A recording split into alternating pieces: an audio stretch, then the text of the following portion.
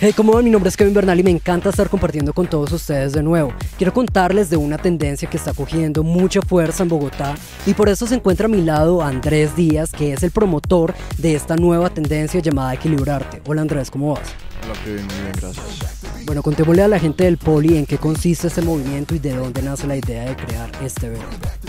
Equilibrarte Bogotá es un espacio de equilibrio alternativo en donde lo que hicimos fue empezar a hacer laboratorios de unos contrastes con la tela aérea, con el slackline, el yoga, el acroyoga, parkour, escalada y manipulación de elementos, para empezar también a, empoderarnos de los espacios públicos como son los parques. El slackline eh, lo practicamos a través de una línea tensa que de hecho traduce eso. El objetivo es buscar una conciencia corporal que nos ayude a desarrollar nuestro equilibrio.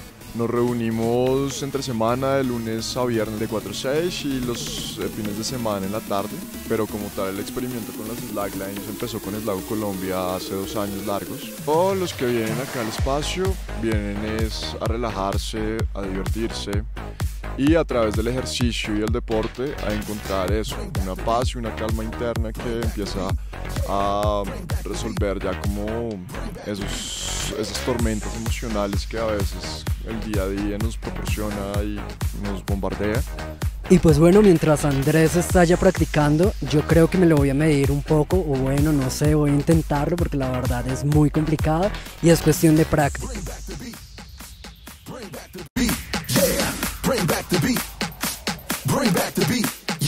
Los invito a todos los amigos del Poli a que vengan y compartan con nosotros en el segundo encuentro de equilibrio alternativo que se va a realizar este 21 de septiembre en el Parque El Virrey.